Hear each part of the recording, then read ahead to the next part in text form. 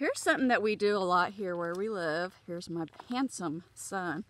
Look, a little box turtle. We move our turtles, especially since a lot of people like to run them over purposely, which I don't get why. Let's uh here, we'll put him across the street near the woods. What what direction was he pointing?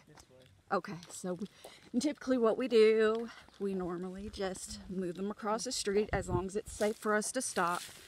We're at home. Caleb spotted them. And look at it. I guess we can't really see it on account of my shadow and the lighting. I can't even tell what the fuck I'm filming, but yeah. Yeah, but we're turtle rescuers around here, so. So yeah. If you see a turtle in the middle of the road and if it isn't going to cause you any danger to stop and move the turtle, please do so.